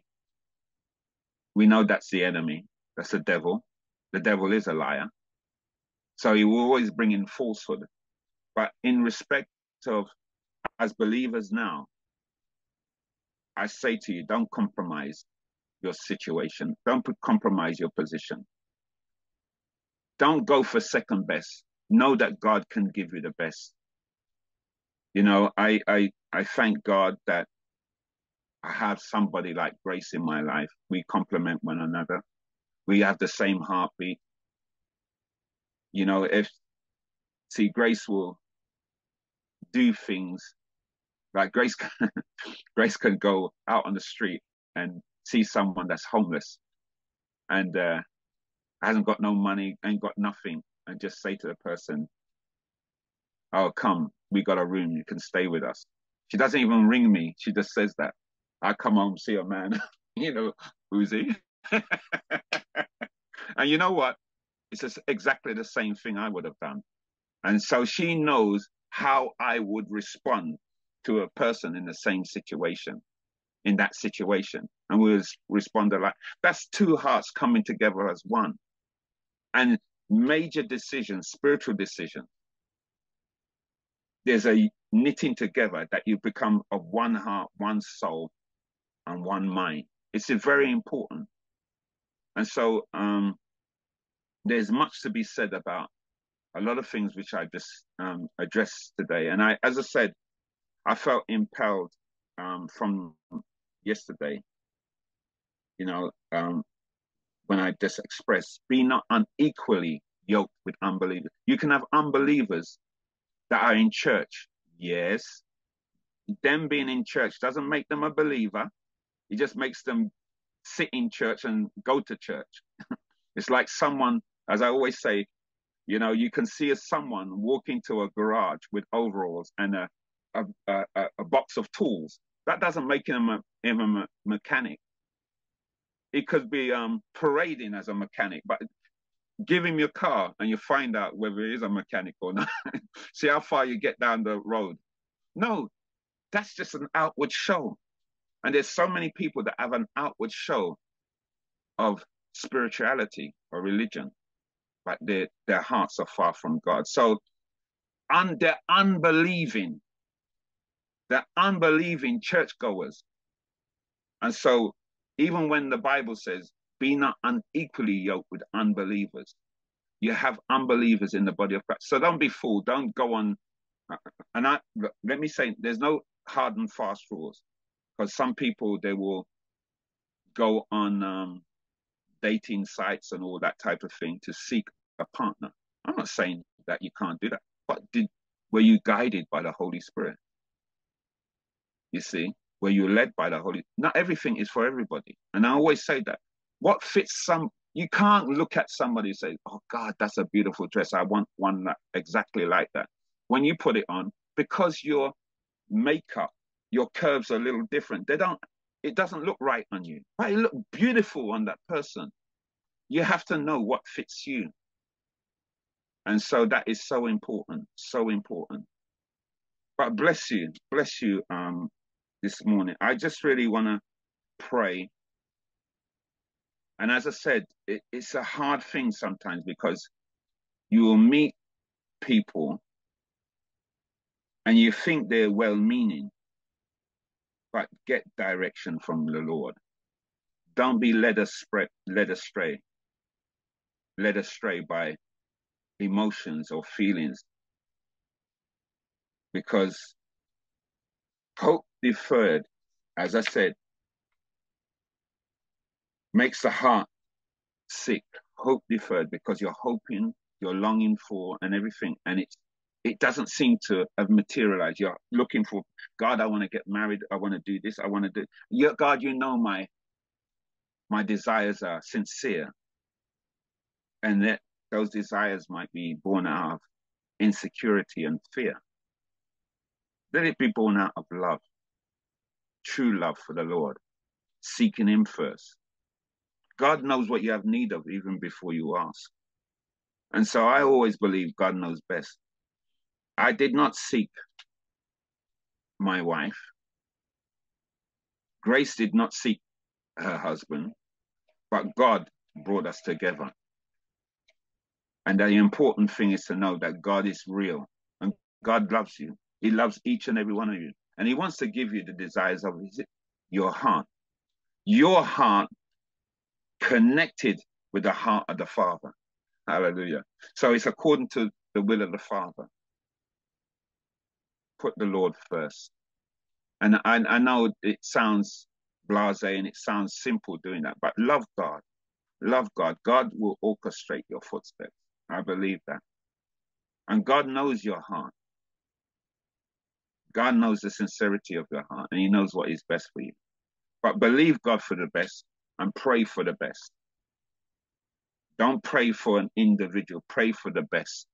God will bring that person to you in the appointed time. In the interim time, just keep on keeping on, doing good, and God will bring you his blessing. And so I'm just going to pray. Heavenly Father, I just thank you. I thank you, Father, that by your Spirit I was just moved to speak in this area. And well, whether this is a catalyst or the foundation of something that needs to be in more depth, addressed in more depth in the body of Christ. Let it be so. And let it be addressed with integrity and love and sensitivity, not condemning, not judging, not writing people off, but giving them a sense of hope that God's way is the best way. And so, Father, even in your word, you said, flee every appearance of evil or even flee fornication. Father, because, because of our human nature, because of our us being mortal beings in a sense, there is that part of us, that inst instinctive animalistic part of us that desires the things to fulfill our carnal nature. But Father, I pray that even as I've spoken, that we may address it not on our own, but through the aid and the help of the Holy Spirit, that we will commit and position ourselves. In other words, we will to do the right thing. Our will is so important. As we will to do right, right thing, you will infuse us with strength and ability to overcome the temptations that will come our way. And that even through the entrance of your word and through the power of the Holy Spirit, we will ward off the sleight of hand and the subtleness of the and the fiery darts of the wicked to fight off these things that will look to confuse us. So, Father, I pray that you empower us today, bring healing to those souls. Many of us were suffering from the remnants of or the residue of past relationships. And even we have made inner vows to say, you know what, because of this past relationship, I never enter into another relationship again. We know that that is an inner vow and that invariably can bring a curse over our lives. Father, let us leave it to you to make that decision. And so, Father, I speak to every heart that is being affected in that way, that has been there's been a distortion on the perspective of how they see relationships and marriages. I pray there's a divine healing in their souls, in their minds, and in their emotions, and in their will right now, in Jesus' name. Father, I pray for temperance right now and a heart of forgiveness that they can release those that are have been at the root of this sense and this feeling of being undone, victimized, violated, whatever the case might be, and rejected ultimately, but disrespected. Father, I pray forgiveness to those people right now, and that they we will have it in our hearts to forgive right now in the name of Jesus. Take out the root of bitterness right now. I I come against that root of bitterness right now in the name of Jesus. I break that curse, that inner vow right now. I revoke, I renounce, I sever, and I destroy every vow that we have even sworn over our own lives. I destroy it right now. And Father, as your daughters, as your sons come into alignment with that, Father God, I decree and declare that they're healed by the stripes of Jesus. Because Jesus himself came to heal all that is was and is oppressed of the devil. And by the stripes of Jesus, we are healed in the name of Jesus. Father, I pray that you will give them vision and foresight. You will order their footsteps. You said in your word, you will not withhold any good thing from them that walk uprightly in right relationship with you. Any good thing, let it be a good thing. Let it be a good wife. Let it be a good husband. Yes, Lord, because you are able to do that. Father, I pray your grace and your strength. Bring peace. And where there is no opposite sex, give us the strength, the fortitude of mind, and the strength and the ability to put our flesh under subjection. The, the longings and desires of the flesh, let us subdue them. And let us put on Christ with all his expressions of his love that we know will know what is our divine and true purpose in him. So, Father, I pray divine direction. Speak to your sons and your daughters. Speak in a way that they will know, that they will hear, that they will see what is the right thing for them. But Father, I pray that they will fulfill, their hearts will be fulfilled, their lives will be fulfilled with and consumed by your desire to serve you, Lord, first and foremost. Thank you, Lord. I pray. I pray right now. I pray and I proclaim there will be divine relationships going forward right now in the name of Jesus. Father, I decree and declare this day a momentous day, a memorial day. Father, this is a new beginning. Father, change of mindsets right now. Let there be a renewing of the mind. And Father, I decree and declare the mind of Christ the mind that will remove every burden and destroy every yoke of the devil. Every yoke, every hook of the devil will be destroyed that has been sent to destroy us.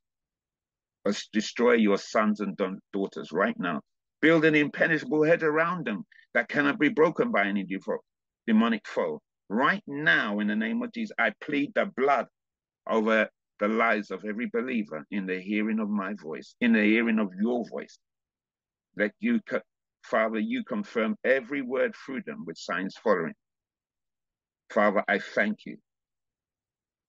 Grant them the patience that they need, patience, endurance, perseverance, even as they undergo trials, tribulations, and testing. Grant them it, give them it, empower them, I pray. Father, I commit everything into your hands this day, this day.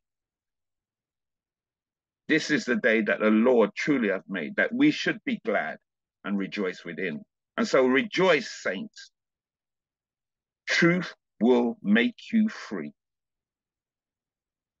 A lie will only serve to disappoint and to destroy you. Father, let them not be sick in the heart through their own time scales or their own their self ambitions, but let it be led and directed by your spirit, Father, I pray. That they may know that which is a good, acceptable, and your perfect will for their lives. Father, I thank you and I bless your holy name. In Jesus' name, let everybody say amen and amen. Amen. Hallelujah. Amen. Amen. Amen. Praise be to God. If anybody wants to respond in any way, um, please, you can take the opportunity to do so right now. Um, I trust that you will. And uh, so I open up if you want to pray into a particular area. If there's an area you, uh, you have a question about, you can ask the question. If you have a comment, you can comment, whatever the case might be. I leave it to you in Jesus' name. Anybody? Yeah, I think. Uh, I think. Uh, thank you very much, uh, Chris. Yay! I think it's uh, very important to uh, to to take get rid of the flesh, get rid of the, uh, the carnal mind, um, and become born again. When because then then when you're looking at your you're looking at women in a different way and then you'll you'll you'll see the heart of like you said with grace you saw her heart when you were taking the, the camera. You saw her heart. So then you see when you're born again and when you're in a good relationship with jesus christ i think that's important. That's what happened to me. In 2018 uh, i gave my life to jesus christ and the, the lust went. And then i started looking at the spirit. You start to see the spirit and you start to see the heart of the of the people of the of the ladies. Um, so I think that's very important. So once you're in that situation, once you're in that stage, uh, it shall be well. Um, that's all I've got to say, really. Amen. Amen. Amen. Thank you, thank you, Daniel, for that um, sharing that thought.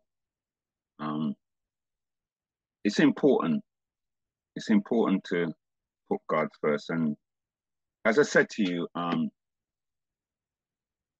you know, mo- in every given situation, in any relationship, you have to develop the fruit of the Spirit.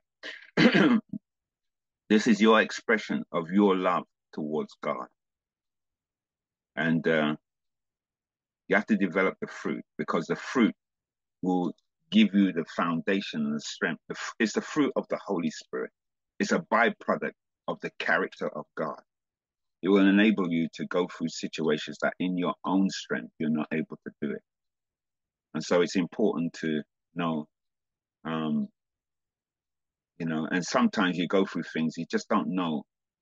It just seems so insurmountable. And there's times when you share things with people, even if you share it with people, they only serve to put you down even more, or they, they use it as a, a weapon against you. If you share certain things of your your vulnerability and such things. So you know what? Sometimes it's just about you and the Father. And you, by God's grace, as, as He knows your heart, God will work the situation out. And uh, that's important. That's important. And God will speak. God will speak in the midst of a situation. God will speak. Bless you. Um, is there anybody else that you want to pray or just have an expression.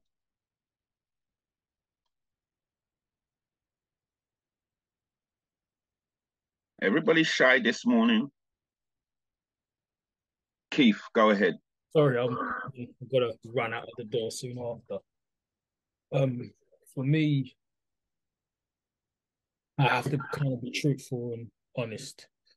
Um,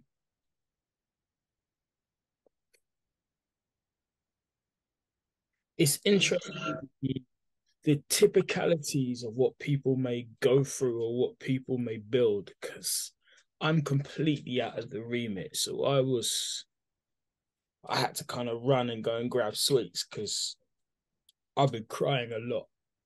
Because I fall out of the stereotype and it makes it harder. And it makes it a little bit more tough because it's not typical for me. And I know that I've gotta lead and work on God. Because half of what I know in my life is it's the answer no.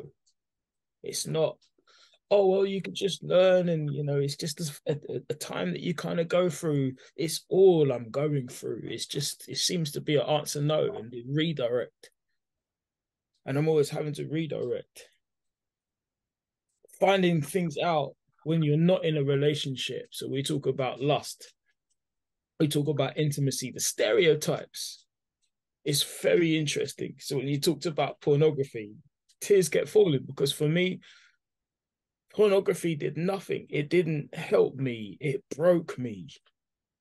You're seeing two people on the screen enjoying yourself themselves. But my kind of thought process and rationale is like, how can I get excited about two other people enjoying themselves? Because all I'm thinking to myself is you're sitting here in your flat or your place or your residence and you're with nobody. How, like, it's interesting how the enemy works, but for me, it broke me down even more because it didn't work for me.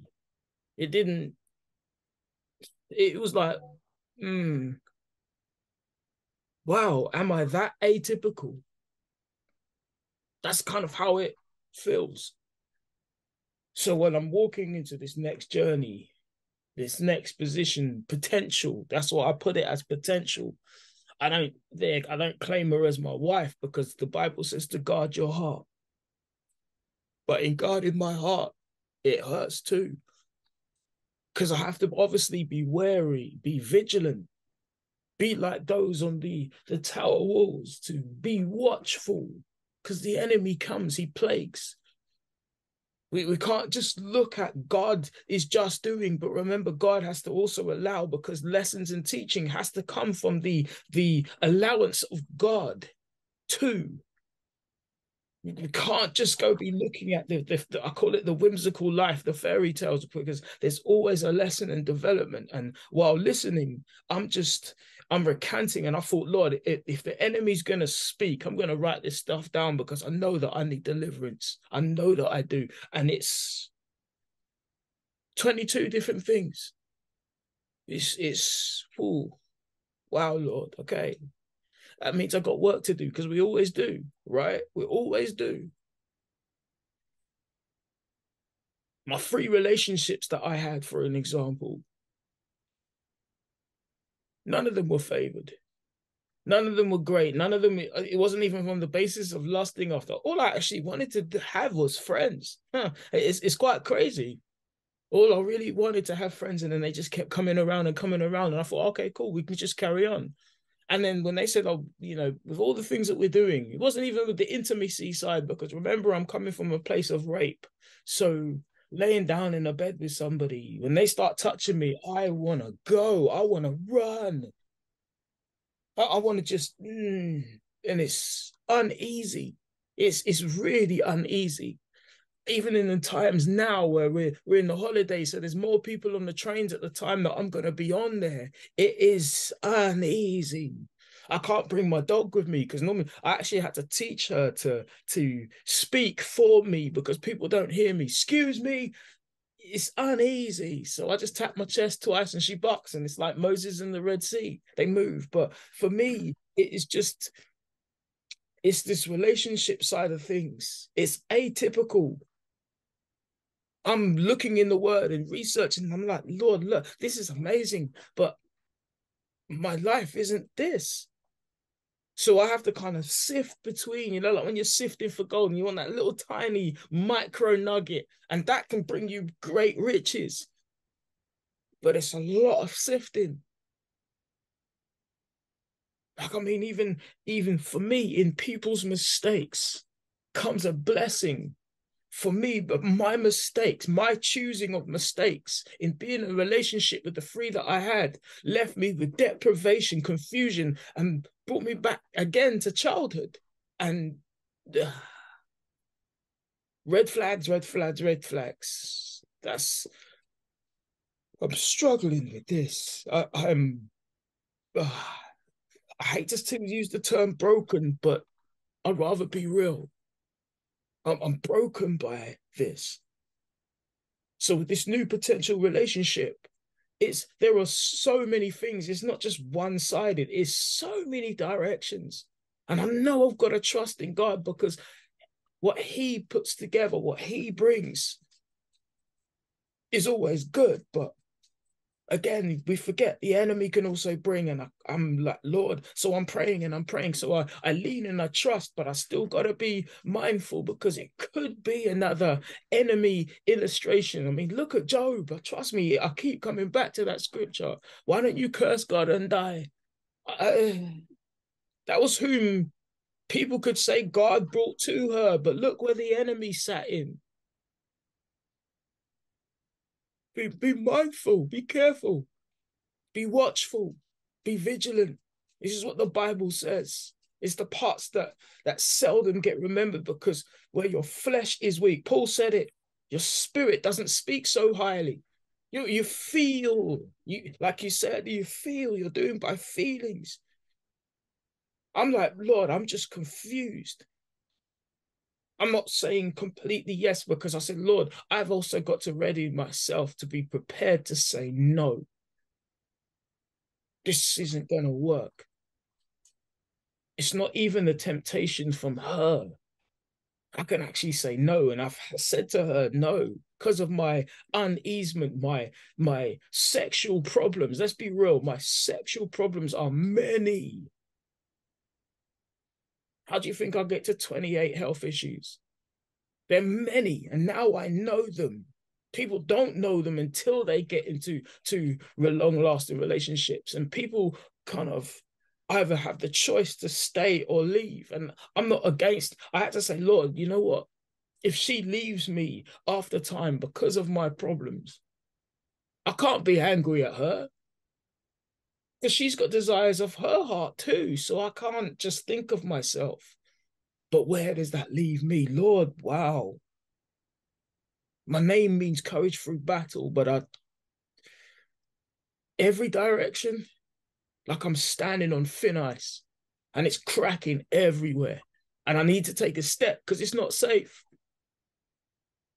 That's kind of that's probably the best analogy that just come to me and I'm just, I need some prayer. Just. Amen. Yeah, just need some prayer. Hallelujah. I don't um, say another thing because I'm kind of concerned. Sorry?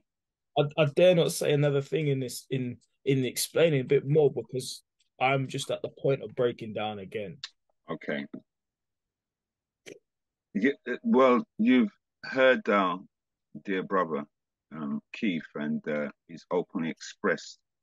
You know, the, the the thing is, trials and tribulations are unique to each and every one of us, and we encounter them in different ways. And and, and when when the word no, by no means highlights or underlines every situ every different situation that's going to confront you, every temptation that's going to confront you, every, you know, sin that is likely to tempt you. It no way does that. But what it does, it gives pointers. And uh, we know that. And the one thing is this through violation and through um, deception, through lies, just through pure, pure abuse God, the devil can look to have a stronghold in our lives, you see, and it's overcoming those strongholds. And we know, I look, God is a healer, and uh, God can heal any situation in the name of Jesus. And I just believe that, you know, this is a this is a real thing, um, as Keith has expressed that he's going through, and uh, you know but in the midst of it the word is still the word still speaks and his desire is to be delivered of these underlying emotions that came to keep uh, coming up in his life and uh, the challenges that he faces when he comes to you know entering in or uh, at the point of entering into a relationship with the opposite sex you see and it might not be uh, from different people's perspective, but it's from his perspective and it's very real. And see, the same decisions has to be made through the Lord and through our Lord and Savior Jesus Christ. We have to have direction from the Holy Spirit. We have to rely on the divine protection from God. We have to expose the devil if it's a lie. You see, we expose that lie. And uh, we have to recognize that there is a God that is able and that we can do all things through Christ who strengthens us. And the thing is, is that without labeling everything, we can know that whatever that situation, nothing is impossible for God. Nothing is impossible for God. And so it doesn't, it, in, it might be unsurmountable in terms of from one's own perspective, but in God, it's, it's nothing. God can heal by the stripes of Jesus. He healed us 2,000 years ago. And so I just really want us to, let's just stretch our hearts towards um, Keith right now. And um, I'm just going to pray. And this is not me. I'm just going to pray that Holy Spirit will minister to him in a special way that will bring about total healing, total restoration, total wholeness and completeness. And we thank God for what he's doing, already doing in Keith's life, you know, that even subject to many, many diagnoses you know, of uh, different illnesses and everything. God is healed him in so many ways. And uh, you know what? I admire Keith because at the end of the day, in spite of all things, he's still able to lift up the name of the Lord and to thank God and do and serve in the kingdom of God and that takes great strength and great courage. And that shows a love towards the Father that many doesn't do not express in terms of serving. And uh, so I'm we're gonna pray. We're gonna pray right now. I'm gonna pray in the name of Jesus. Father God, in the name of Jesus, I thank you even now, I commit your dear son, Keith. You know him by name, you know him by nature. You know the very purpose for which he was created, Father. Even before the foundation of the world, you knew him before he was even conceived in his mother's womb. Father, you knew the things that he would suffer. And so we know that, and he may not have realized that at the time, but his cross that he carries is his cross that he needs to bear. And we all need to bear crosses, Father God, because life is not tiptoeing through the tulips, but there's something that you will do. And even in your word, you said there is no temptation that is greater than man. In other words, there's no trial, there's no tribulation, there's no testing, there's no suffering that is beyond human comprehension. Because God, with the trial, will make a way that we're able to escape it. In other words, be delivered of it, set free, made whole and complete from it, be healed. And so I speak to Keith's situation.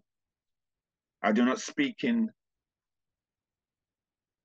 words of man's wisdom, but I speak and I decree a declaration of the power of demonstration that by the stripes of Jesus, he was healed 2,000 years ago. And right now, I decree upon his spirit, on his soul, and upon his body right now. Every hurt and every pain I speak to right now. I pray that your healing balm will be applied to his soul right now. In the name of Jesus, Father, take away every dross that is not of you, Father. Take it away right now in Jesus. Every residue of the past that is still hindering him today, Father, I speak healing right now in the spirit first, in the soul, and in his physical body. I speak it now.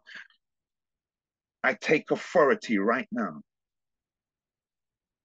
As in the the authority that has been invested in me and that we have been invested with right now to decree and declare that every tie to the past that is that is holding him back, Father God, every fear right now be destroyed in the name of Jesus. Because, Father, you have not given Keith the spirit of fear or trepidation or dread, but of power, inherent power, and of love, the agape love, and of a sound mind, a disciplined mind, a controlled mind, not one that is perplexed, not one that is torn between, between two or three opinions, but a controlled mind, the mind of Christ. And so, Father, I come against every high thing that truly exalts itself against the knowledge of you. And I speak, speak your divine wisdom and counsel to his spirit right now that will lead him through a, pay, a path onto a path of divine and complete and true deliverance, Father. Father, I thank you for your grace and I thank you for your peace that is multiplied to Keith right now through the intimacy of knowing you. And Father, he cries out to you, he desires you in such a way that you truly hear his cries, his voice, and you answer him because you are a loving God.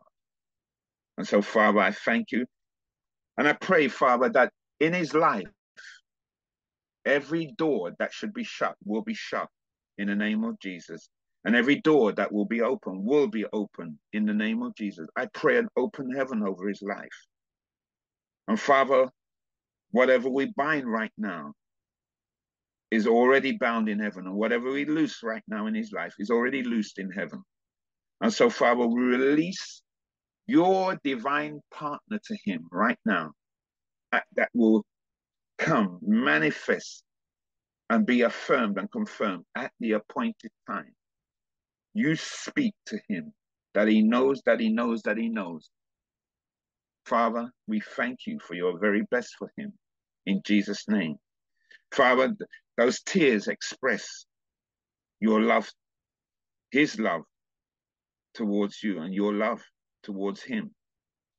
That he could be moved by tears a broken and a contrite heart, you said you not despise. You not turn away, Father. And so, Father, I know that you've heard his cries and you've seen his tears and you relate to his pain.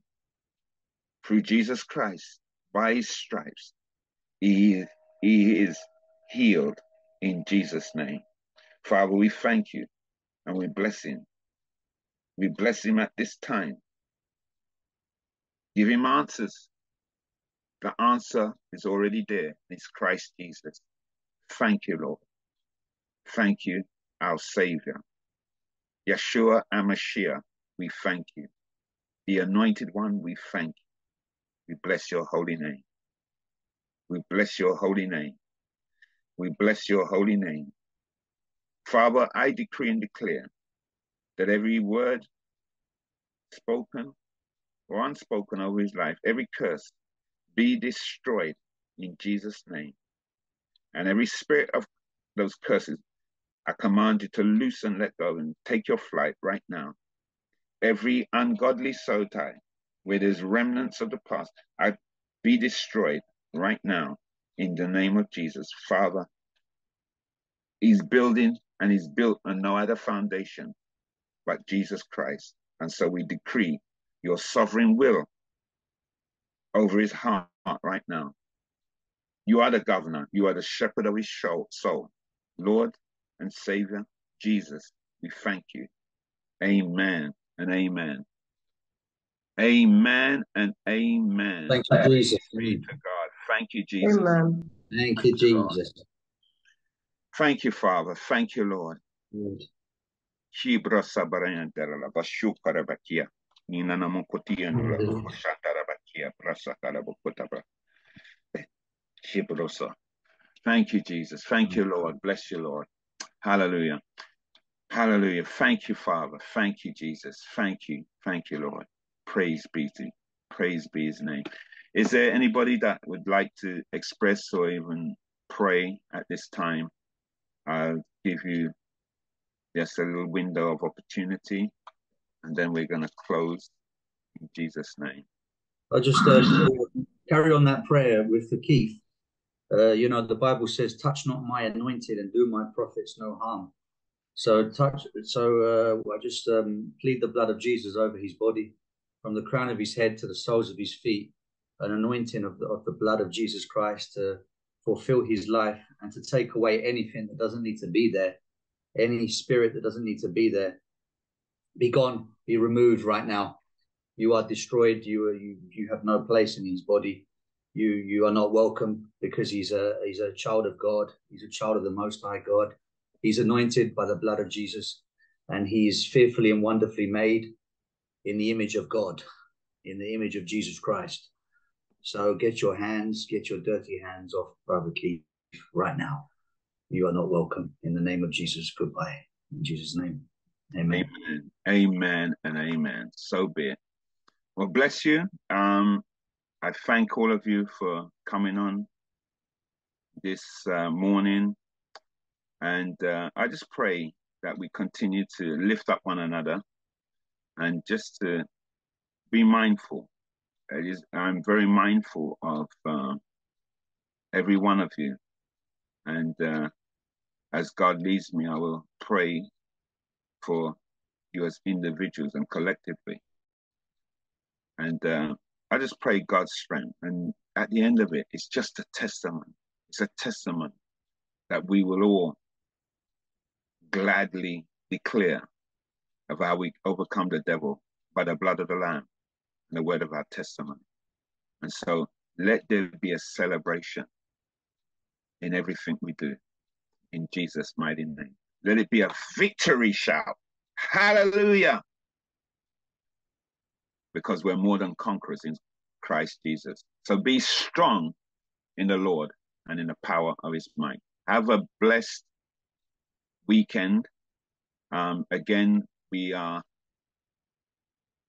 we are um, got Saturday meetings, Saturday clinic, and um, you know, obviously we can continue to come together to pray. I trust in as many of you can join us on the Saturday and then we have the Sunday service. So, hallelujah, praise God. We're going to be blessed by a song as we leave. I have been uh, touched in more ways than one by what God has expressed and impressed upon my heart. And I know that is by God's Spirit. And uh, we know this is an area that needs to be addressed on a wider level. So I will just see what God will have us do. There's so many practical elements of it that we can address and in, input into our lives. And uh, so time would afford us to do that. And so, but let us all be led by the Spirit of God. And let's hear the voice of the Father in everything we do. In Jesus' name, amen. Go ahead, Keith.